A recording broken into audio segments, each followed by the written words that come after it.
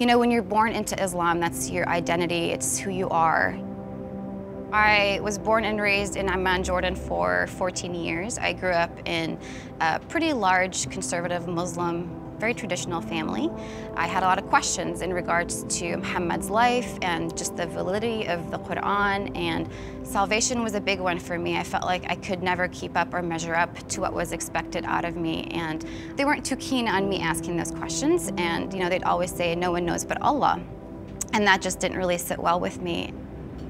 My father was an alcoholic ever since I could remember, and my earliest memory of him was when I was five years old and him kicking me to the ground and spitting at me and calling me names that no father should ever call his five-year-old daughter.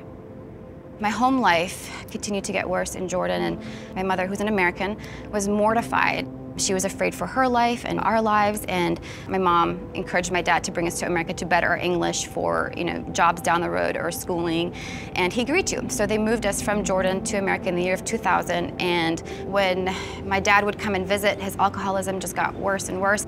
That's when I met a boy in high school and we fell in love and um, it felt good to be loved by someone and um, one thing led to another and I found myself my parents' bathroom floor holding a positive pregnancy test at the age of 17. Had I gone to my dad, um, culturally, um, he would have murdered me and I'm not just saying that figuratively, but that was my reality. He would have murdered me and had I gone to my mom, um, she would have told my dad and same thing would happen. So I didn't really have anybody to confide in and the only person that I confided in was the boyfriend that I was dating at that time. And we felt like we didn't really have a whole lot of options and the only option like we felt we had was to go through with an abortion. That was very hard for me because I've always valued life. I would daydream about what it'd be like to hold my baby one day and to have gone through that was very devastating for me and I struggled with shame, um, embarrassment, and depression, anxiety, and uh, self-worth. And I was trying to fill that pain and that void in my life with things of this world that just made that pain and that void in my life so much bigger. And I was just going down a dangerous, dark, and downward spiral in life. I knew that my sins were deemed unforgivable in Islam, and I knew that I was so extremely hated by Allah. And at that time, I was trying to search for some form of forgiveness and hope. And that's when I went to the Quran. I actually opened the Quran and, and I stumbled upon Surah 4, 168 through 169. And it goes something like this. I'm kind of paraphrasing it. But Allah does not forgive those who reject the faith and do wrong, and that He doesn't lead them to into a better path. And the only path that He leads them to is to hell. And I remember reading that and just feeling so much fear and hopelessness. I said, Allah, I don't know who you are. I don't even know if you exist. And telling him I've been praying to you for 20 some years and I've never felt your presence and crying and just thinking of ways how I can end my life because if there's no form of forgiveness for me in Islam, then what's the point of me living? And as I was crying, out of nowhere, I heard an audible voice. I heard the name Jesus. So I, you know, looked up to the heavens and I opened my hands and I had tears going down my face and I said, Jesus, I'm like, I don't know who you are, but if you are who you say you are, please reveal yourself to me because I can't go on living life like this anymore. And that was the first time ever from praying that I ever felt any form of peace. The boyfriend that I was dating, he and I broke up and I met a young man who was just so different from anyone that I'd ever met, very loving, and it intrigued me, and we started dating, and um, I was in his house one day and found I saw that he had a Bible, an open Bible on his desk, and I remember thinking, oh, I'm like, I'm dating a Christian.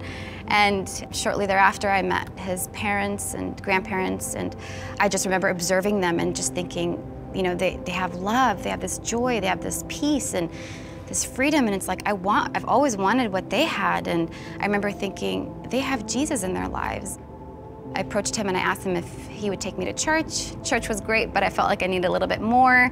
So I asked him if his grandparents would do Bible studies with me. I remember reading Romans 5:8 for the first time, but God proves his love for us in that while we were still sinners, Christ died for us. God's love for us is not a response to our goodness, but in spite of our lack of goodness. And, and at that moment, I realized how different it is being a Muslim from being a Christian. That's when I decided to be baptized and become a follower of Jesus. For years, I lived with a lot of anger towards my dad. Four years ago, he was binge drinking and was dying. And I prayed to the Lord that he would soften my heart towards my dad and I'd ask him if he can help me see him the way he sees him.